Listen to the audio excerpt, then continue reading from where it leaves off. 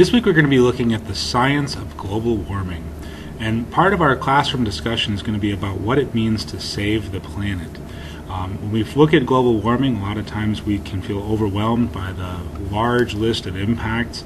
And we're going to talk about uh, how we see our relationship with the environment, whether we are in control of nature or whether we are part of nature.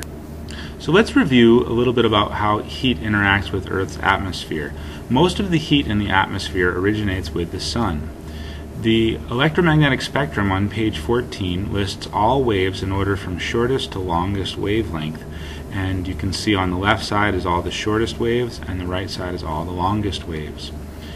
The uh, sunlight that we get uh, is mostly on the short wave side of the uh, electromagnetic spectrum. Uh, most sunlight comes in the form of visible light. So, uh, the basic way that the sun interacts with the atmosphere is that the shortwave radiation comes into the atmosphere, it heats up the Earth, and then long wave uh, infrared radiation in the form of heat heats up the air. Now, if this was the only thing that happened, the Earth's average temperature would be negative 18 degrees Celsius or 0 degrees Fahrenheit.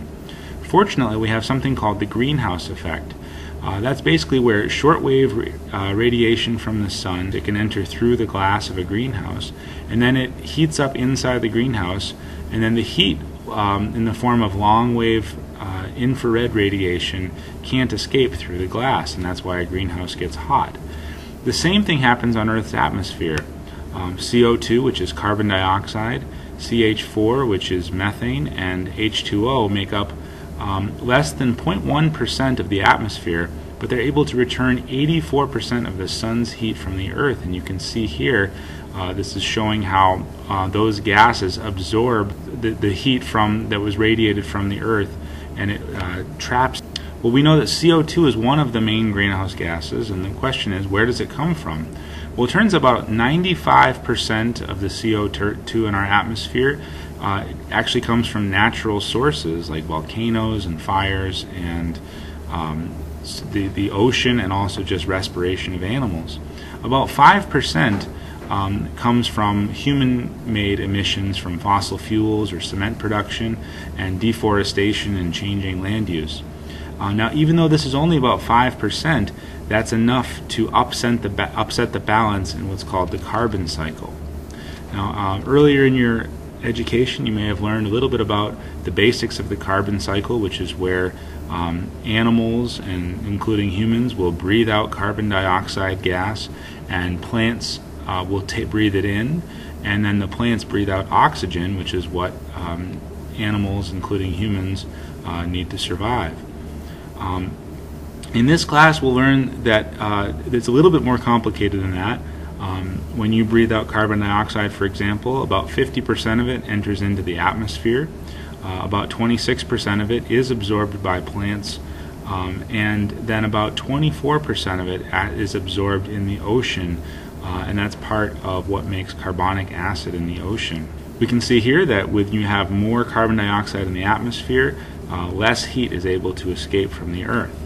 Earth's atmosphere has changed many times in the last 4.6 billion years. Early in Earth's history, the atmosphere used to be as high as 39% carbon dioxide. Today, CO2 makes up only about 0.039% of the Earth's atmosphere, but again, that's enough to make a really big difference in the temperature on Earth. Um, other planets, like Venus, are made up of about 96% carbon dioxide, and they have what's called a runaway greenhouse effect. The average temperature on Venus is about 450 degrees Celsius or 840 degrees Fahrenheit. Um, the concern is that the Earth could have a runaway greenhouse effect, and this was first proposed by a guy named, guy named Svante Arrhenius. Uh, he said back in 1898 that uh, if we doubled the amount of CO2 in the atmosphere, this could result in a uh, temperature change of about 5 to 6 degrees Celsius. Well, what he saw back in 1898 was a graph that might have looked sort of like this. Um, about 100 years later today, this is the graph uh, that we see. You can see that the current estimation for um, the amount of carbon dioxide in the atmosphere is uh, over 360 parts per million, which is uh, very high. You can see here too, this is based off of largely from ice core data that we're going to learn about in class. You can see that for 650,000 years, the atmospheric CO2 has never been above uh, 300 parts per million until uh, the 1940s when um, it's gone up and up and up and uh, it's nearly approaching 400 parts per million. What changed to put all of this carbon into the air? Uh, a lot of this started during the Industrial Revolution, uh, which is basically the 1700s and 1800s. We saw some really big changes in um, how society um, interacted with its environment using more machines and more factories and more travel.